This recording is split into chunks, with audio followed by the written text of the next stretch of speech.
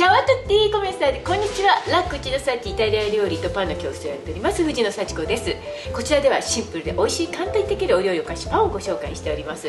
本日はじゃーんこちらの柚子を使ったドレッシングを使ってとっても美味しいサラダをね作っていこうと思います。今日のドレッシングねいろんなサラダに合いますのでぜひ作ってみてください。今日の配合下の概要欄の方にね貼っておきますのでよかったら参考にしてください、えー、ちなみに私はラクチナサチというイタリア料理とパンの教室をやっておりますそちらでは対面レッスンそしてオンラインレッスンもやっております。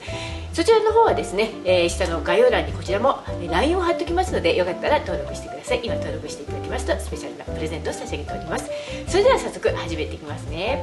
はい。それではですね今日はこちらのねリスさんのサラダボールスピナーをね使ってねちょっとね、えー、サラダを作っていこうと思います。これ結構ね分解できていいんですよね。こういう風になってねここもね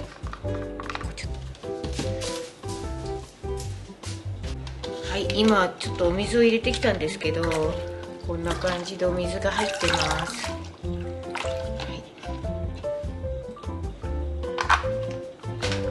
では蓋を閉めて。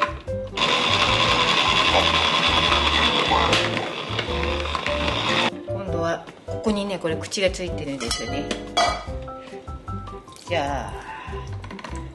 はい。このままですねちょっとしばらく冷蔵庫の中に入れて冷やしておきますね。そうするとねシャキッとしますよ。はい。大根はもうね簡単に薄くおおく切っていきます。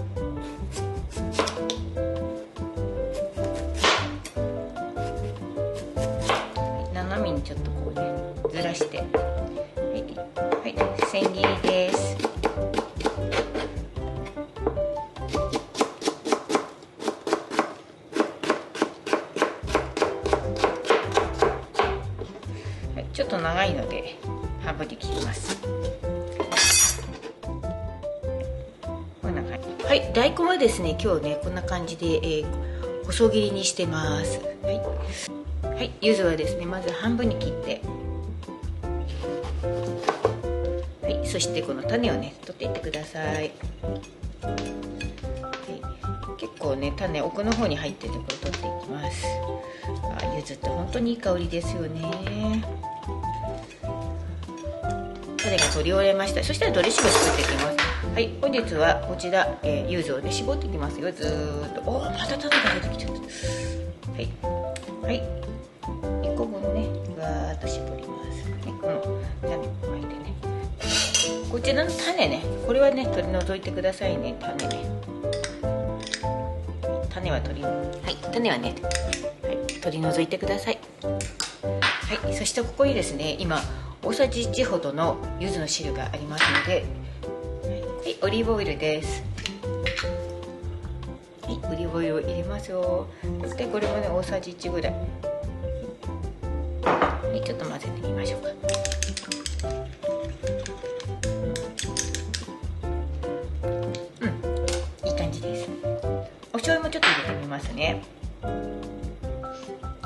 少しちょっと少しずつ入れてですね。で味を見ていてください、はい、これ本当はねお味噌を溶くやつなんですけど。入れといちゃいますちょっと味見してみますね。うん。うん。美味しい。もうちょっとだけ入れようかな。ねお醤油をちょっと、ね、強くしています。味見。うん美味しいです。でこちらはねもうドレッシングできましたんでね。はいそれでは盛り付けます。今日はね大根が白いのでねちょっとこの黒のお皿にしてみました。和のお皿ですね。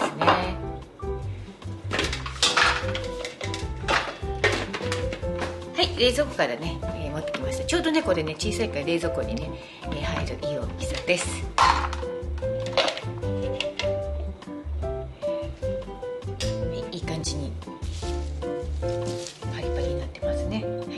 らこれをわさ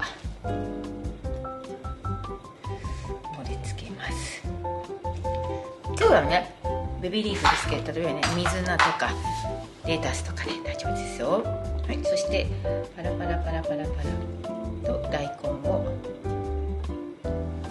お好きなだけ。今日は2センチほどカットしてます。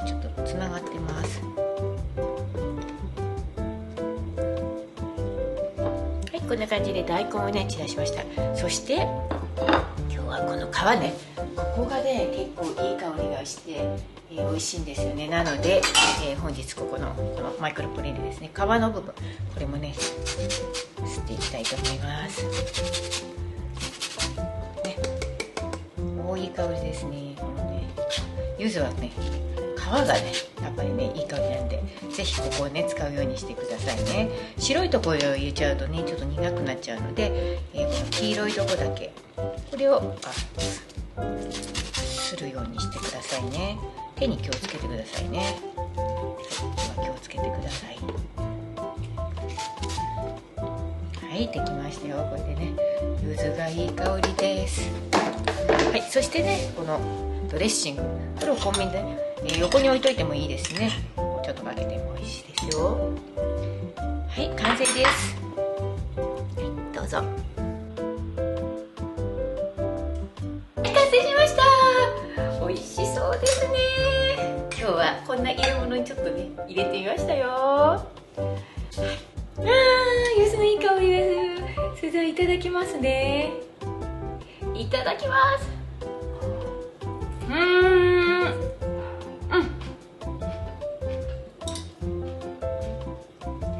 冷たい水で締めてるんでシャキシャキ。うん。もういくらでも食べれそうです。美味しい。今日は柚子ドレッシングを使ってねサラダをご紹介いたしました。とっても美味しくて簡単なのでぜひ作ってみてくださいね。